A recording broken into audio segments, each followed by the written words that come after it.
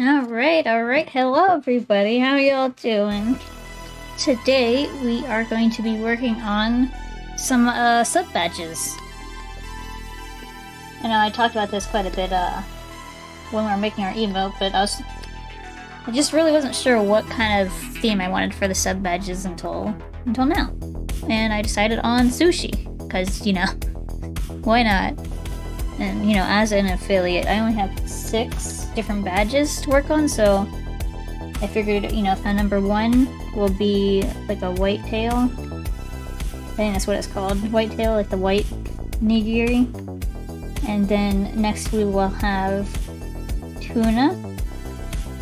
Third will be salmon. Fourth will be bronze. It's like an all bronze uh, sushi nigiri. Five will be silver. And six will be gold. So I think that's a pretty good layout for, you know, for all of the different badges. I just need to figure out how I want to take up all this space that I have to work with. There we go. So like, you know, all this bottom area is filled out. I want to make sure I take up as much of the canvas as possible, so I'm gonna, I'm gonna maybe rotate a little bit. So, right, I need to figure out how to make the grains of rice, because this is gonna be extremely tiny, so it's gonna be hard to make out any details. Alright, I think this is a good, pretty decent base. I'm gonna try to squeeze it to the side a little bit more, so I really, really, really want to make sure to take up as much space as I can. Pretty much edge to edge. Working with art that's going to be shrunken down to an extremely small size is always difficult, because you want it to be readable, but you also want it to look good. You know, just like as it is. I think this might be the sketch we're going to go with. Maybe. Alright, so I'm going to take away my references here. Get rid of that. And I'm going to use the full canvas. I'm just going to change the actual size of the canvas and maybe that will... Maybe that'll give me a better idea. Uh, now I need to figure out how I'm going to fit the line art in here. Yeah, this shouldn't take me too long, to be honest. It's so small that I don't need to put a lot of detail into it, because you're not going to see the detail ever. Alright, I need smoothing, because this is not smooth. I can't not line my stuff without without my smoothing tool now. Just thicken up these lines a bit more. Because we need super thick lines to be able to see anything with this. Alright, so there's our, our fish base. Now I'm just gonna do all the little grains of rice. Alright, I'm gonna have like a grain of rice kind of tilted this way. Just make it a little less uniform. Maybe one more down here. There we go. Nah, that looks good. Alright, so there's our sushi. Um, ba -ba -ba So let's pop down a little bit of color. Just kind of select everything. And inverse. So this is going to be white tail, which is kind of like a, this pretty much just white. It's just white fish. I'm going to make it like slightly off colored. I guess like shading. I'm going to kind of give it a little bit of shading around the edges here. Keep it nice and bright in the middle. Might even take like a brighter color. And kind of give, know, give the edges a little something maybe. A little bit on top. Just to kind of make it look a little bit more interesting than just a flat, flat piece of color. So this very, very white piece of meat looks like it's called something, it's like a es escolar. I've actually never heard of that fish, but it looks like this like slightly pinker one is yellowtail.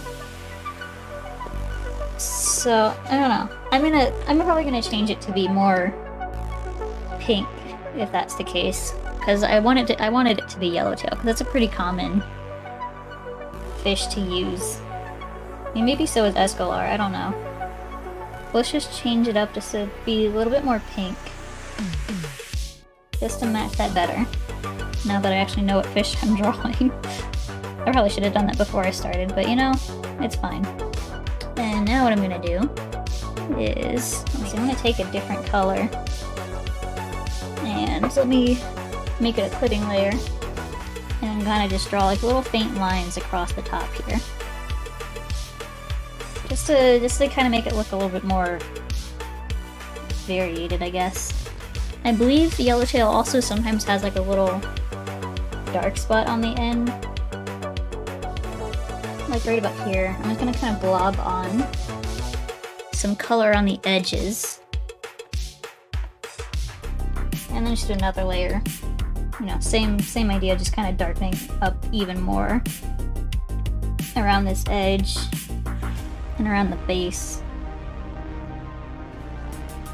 Yeah, Yellowtail has so many variations.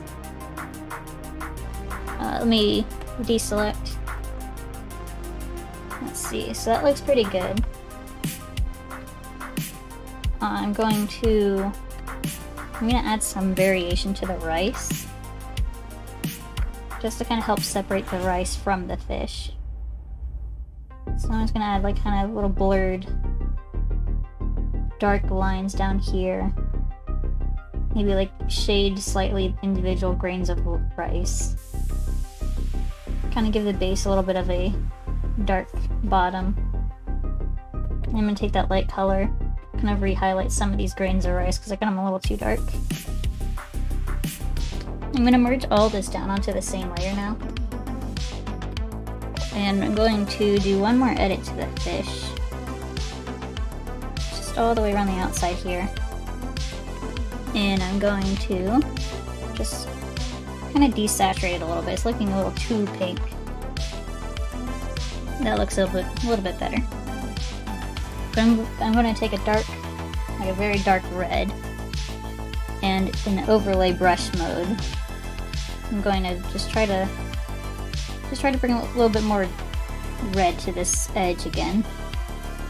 So I think this is a good base. This is a good uh, subscriber one badge. So if I just, you know, duplicate each color, then that's really all I need. So the next one I was going to do is Tuna, which is a very bright red color. Alright, so we've got definitely very dark, bright red colors. Uh, so let's go for like right about here as our base. So I'm to start with the like the little rings on tuna. Alright, so there's our, our base of the lines. Now let's go in with a dark, this is like a nice dark color. And kind of get some shadows going. Uh, I'm also going to take that light, that nice light color. And it's going to kind of give like a nice little, I don't know, like a blurred effect on, let's try to do maybe one edge, on one edge of them. Let me kind of darken this edge a little bit. Keep the highlight on top of the fish. Alright, I'm also going to change these lines to be uh, something different. Something different. Yeah, that's pretty good. Uh, alright, so now I'm gonna go in, just kind of draw like more little lines. Alright, I think that might be good. Uh, so I'm just going to just wrong there. Gonna go in here, clean up our rice, because our rice definitely got colored over for a bit. Which is why we did a second layer. Yeah, that's about right. Alright, so we got our tuna. Our, our yellowtail, our tuna. Let's duplicate again. Alright, now we want to do salmon. So salmon is going to be... It's very orange. Like a very light orange too. Light but saturated. Yeah, that feels like a good base. That's a good base for salmon. So salmon definitely has a lot of, I guess like fatty lines. I think that's what they are. I don't know. They got like a lot of like these things. Alright, now let's go ahead and start getting some nice shadows in here. I might try to add one more little highlight down down the middle here. I think that's a pretty good, pretty good salmon. That was actually a lot faster than the uh, all the other ones so far. Probably just because I like salmon so much, so I know what it looks like already. Alright, so we got all of our like regular fish. All of our regular fish are in here. So let's go ahead and do number four, which will be bronze. Uh, grab like good base for the bronze color. Done like there. And let's just start adding some nice shadows around here. We are going to make this extra shiny because it is going to be metal. Or at least it's supposed to be metal. So those shadows are going to be extra dark and those highlights are going to be extra bright. Kind of going in here again and just kind of shading up all these little grains of rice. I think this is good for the shadows. Now I'm going to work on the highlights, so I'm going to just kind of plopping down some of these brighter areas. I'm to do like a little highlight right here on the very top. It's to be very, very shiny. Yeah, see like that bright highlight against that really dark shadow. That's really what metal does. It just, it just highlights every little edge. And then I think for just one added layer of realism, I'm gonna add little fish lines. Like that. Yeah, that looks pretty good. So there's a nice bronze. Let's see, I'm going to duplicate this. I'm gonna merge all this down. And I'm gonna see if I can change the like metal type just by changing the, the hue and saturation and stuff because that would save me a lot of time. See, I'm also gonna, I'm gonna darken this. And then I'm going to go into my levels. And then I'm gonna just kind of push these down. I'm also going, I'm just gonna actually desaturate it even more. Still looks too blue. That looks better. So we have bronze going to silver, and then going to try to do pretty much the same same thing. I'm going to change the saturation and try to make it look gold. Alright, I'm gonna do another layer on top of this, actually. Something like that. There we go. So it's got like super, super highlight right there. Alright, so we got sushi. Gold sushi. Uh, First badge, yellowtail sushi. Second badge, tuna sushi. Third badge, salmon. Fourth badge is bronze. Fifth badge is silver, and sixth badge is gold. Alright, um... So definitely need to think about the chopstick idea for different tiers. So I have silver chopsticks and gold chopsticks. It looks better on certain ones than others, but I think those are to be my tier 2 and 3 badge players. I think they'll look pretty good. Let me, let me just kind of play around with something here.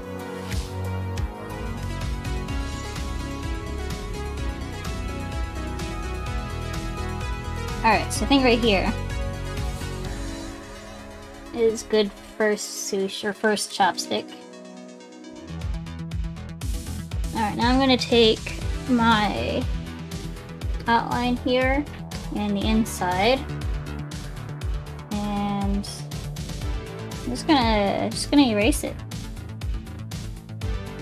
It's like this is still on top of everything, but it looks like it goes behind. So we still got us we still got the sushi and technically behind everything. But it doesn't look like it's behind everything, which is the cool part. Still don't like how these are rotated at the bottom. The top looks fine. The bottom looks weird. Um, uh, now that I've played around with that enough, I'm just going to take one of these and we're going to make it shiny. So I'm gonna start. I'm gonna start start with silver because we can just do our um, our little gradient map trick like we did for the sushi. Maybe a little bit right there too. And. Let's not forget the bottom. Um, but yeah, so metal's very shiny. So it has very reflective edges. It's not going to be a lot to see down on the bottom just because it's mostly line art. Alright, so we got one chopstick, so I'm just going to duplicate these two again, just like we did last time. And just kind of rotate. Alright. That's pretty good. I think that's really good. Um, Oh, yeah, we go. We want to duplicate our gradient map for the gold layer. Just bring it up. Make sure we clip it on this one. And look at that, surprise, we have gold. We already did the gold part. So silver and gold, and without, oopsies. There we go, without everything. This is just, this is how it looks. This is all I did.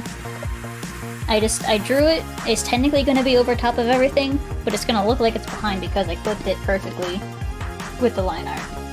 Uh, but I hope y'all have a good time. I will see y'all next time. Bye.